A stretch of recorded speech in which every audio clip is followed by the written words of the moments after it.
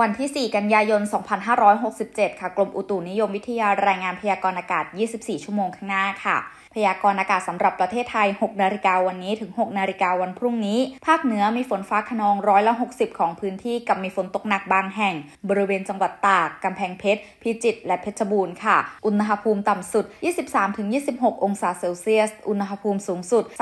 32-35 องศาเซลเซียส ค่ะ ภาคตะวันออกเฉียงเหนือมีฝนฟ้าขนองร้อยละ 60 ของพื้นที่กับมีฝนตกหนักบางแห่งบริเวณจังหวัดนครราชสีมา บุรีรัมย์สุรินทร์ศรีสะเกดและอุบลราชธานีค่ะ อุณหภูมิต่ำสุด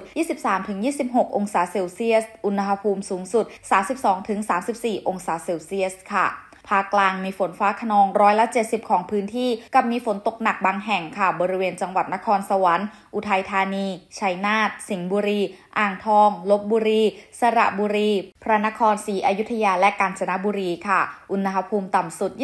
23-26 องศาเซลเซียส อุณหภูมิสูงสุด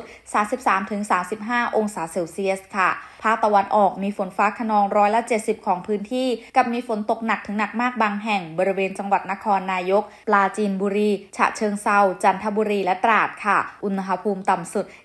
23-26 องศาเซลเซียส อุณหภูมิสูงสุด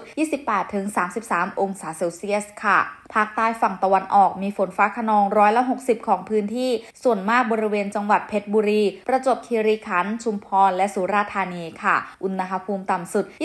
23-25 องศาเซลเซียส อุณหภูมิสูงสุด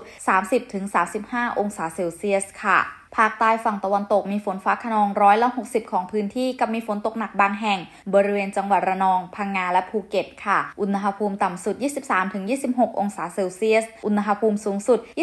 29-34 องศาเซลเซียสค่ะ ทางด้านกรุงเทพมหานครและปริมณฑลค่ะมีฝนฟ้าคะนองร้อยละ 70 ของพื้นที่กับมีฝนตกหนักบางแห่งค่ะ